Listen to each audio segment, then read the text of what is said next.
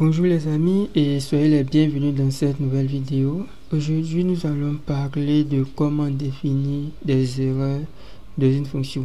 Nous allons voir comment créer une fonction qui retourne des erreurs personnalisées. Donc pour cela nous avons créé un fichier dit bonjour.go dans le package functions. Là on a défini une fonction dit bonjour qui prend en paramètre un nom, le name qui est une chaîne de caractères. Donc on va définir sa valeur de retour. On va dire qu'il va retourner deux types de valeurs. Donc la première valeur, ça sera un string qui va retourner bonjour et son prénom. Et la deuxième valeur, ça sera une variable de type erreur. Donc pour pouvoir traiter nos erreurs en langage Golang, ce que nous allons faire, on va tester si le nom est vide, on va ajouter une erreur personnalisée pour dire que vous devez saisir, vous devez saisir un, nom. Donc si le, si le name est vide, donc on va mettre if name. On va dire d'abord, on va créer d'abord une erreur dans le cas où name est différent. Si name est égal à nil,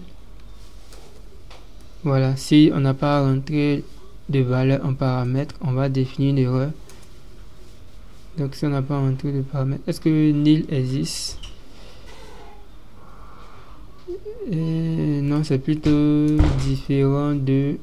On va, on va dire si nil est différent de espace vide ou bien si nil est égal à espace vide, si nil égale espace, si name égale espace vide, on va ajouter des erreurs. Donc on fait error error.new error.new et on va définir une erreur. Donc on va dire que le champ nom ne doit pas être vide. Le champ le champ name ne doit pas être vide Voilà. Donc, euh, lorsque je dis le champ name ne doit pas être vide, donc ce que nous allons faire, nous allons déclarer une variable de type erreur, qu'on va appeler ça ERR, erreur. Et ensuite, nous allons retourner automatiquement. Donc, je fais un return. Donc, je vais retourner bonjour, monsieur ou madame. Voilà, là, je dis bonjour, monsieur ou madame. Et puis la deuxième valeur de retour, je retournerai en fait. Donc euh, nous venons de définir notre erreur. Vous voyez que là je viens de définir l'erreur. Au cas où il y a une erreur, on va retourner bonjour monsieur ou madame et on retourne l'erreur. Mais dans le cas où il n'y a pas d'erreur, donc je fais return et là je vais mettre bonjour et a pas, si, si, on a saisi un prénom, on n'a pas laissé un espace vide, on va mettre bonjour et on va mettre son nom. Donc je mets la variable name. Et lorsque je mets la variable name, là on avait dit qu'il doit forcément retourner deux valeurs, une chaîne de caractères et une valeur de type error. Donc au niveau de la valeur de type error, vu qu'il n'y a pas d'erreur qui doit retourner, donc on va retourner la valeur nil. Voilà. Bon, maintenant, on va au niveau de la fonction main. Donc, au niveau de la fonction main, nous allons déclarer une variable. Et je vais l'appeler perso. Voilà, on va l'appeler perso. Et on aura une autre variable de type error. Donc, je fais deux points égales. Ici, je vais utiliser function Donc on va exécuter la fonction dit bonjour qui est dans notre package. Donc euh, lorsqu'on exécute la fonction dit bonjour qui est dans notre package, on doit forcément mettre un paramètre. Donc euh, le premier paramètre, ce serait un nom. Bon maintenant si je ne mets pas de nom, logiquement ça va retourner bonjour monsieur ou madame. Et on va devoir traiter l'erreur. Bon, là, au niveau de la variable perso, on nous, a dit qu'il y a une erreur parce qu'on a déclaré une variable perso qui est déclarée mais pas utilisée.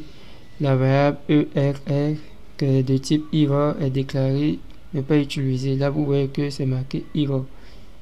C'est le type error qui est là. Donc, on va traiter d'abord l'erreur.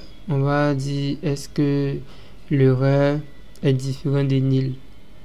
Voilà, donc je fais if ERR différent de nil. Donc on va traiter si l'erreur est différent de nil. Si l'erreur est différent de nil, ce qui veut dire que il y a une erreur. Donc euh, on va afficher. Donc je fais F MT. Ouais. Non, non, non, non, c'est pas ce que je voulais faire, c'est F M T. Voilà, donc on va faire un printf. Donc euh, là, je vais faire un print, printf. Voilà, donc euh, je fais printf. Et bon, on va venir bien vérifier notre fonction. Donc au niveau de la fonction, lorsque il y a une erreur, lorsqu'il y a une erreur, donc logiquement, au niveau de, du nom, au niveau de la première valeur, ça retourne bonjour monsieur ou madame et ça retourne l'erreur. Mais au niveau de si on n'a pas fait ça, donc il va simplement retourner. Donc euh, si, la, si la valeur nulle est différente de 0, donc on sait qu'il y a forcément une erreur à retourner. Voilà. Donc euh, ici, on va retourner d'abord, on fait pourcentage S. Donc, et puis je fais anti-slash N. Donc, je fais encore la même chose. Je fais pourcentage S anti-slash N.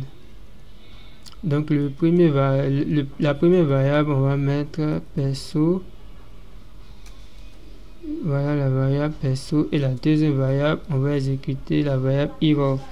Donc, euh, parce qu'on va vouloir afficher en fait le message d'erreur. Maintenant, dans le cas où, dans le cas où il n'y a pas vraiment d'erreur à traiter, dans le cas où il n'y a pas vraiment d'erreur à traiter, donc je fais un else et je vais exécuter uniquement la variable perso sans l'erreur vu qu'il n'y a pas vraiment d'erreur à traiter, à retourner. Donc je retire le pourcentage S. Voilà. Donc on va exécuter pour voir quoi on va exécuter. Donc je fais go run. Point. Vous voyez que c'est marqué bonjour monsieur ou madame. Le champ name ne doit pas être vide. Voilà. Là on me dit que le champ name ne, doit pas être vide. Donc euh, là je vais mettre un prénom. Je mets Frédéric et je vais réexécuter en faisant go run. Et lorsque je, lorsque j'ai mis Frédéric, c'est marqué bonjour Frédéric. Donc si je n'avais pas mis, vous voyez que c'est marqué bonjour, bonjour monsieur ou madame. Le champ name ne doit pas être vide.